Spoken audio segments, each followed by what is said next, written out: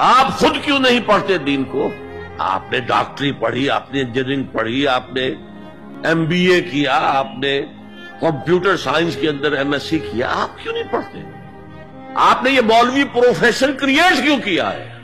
इस्लाम में कोई मौलवी प्रोफेशन नहीं है। हर मुसलमान को इस काबिल होना चाहिए कि नमाज़ पढ़ाए। हर मुसलमान को इस काबिल होना चाहिए अपनी बेटी का निकाह खुद पढ़ाए। हर मुसलमान को इस काबिल होना चाहिए कि अपने बाप का जनाजा खुद पढ़ाए।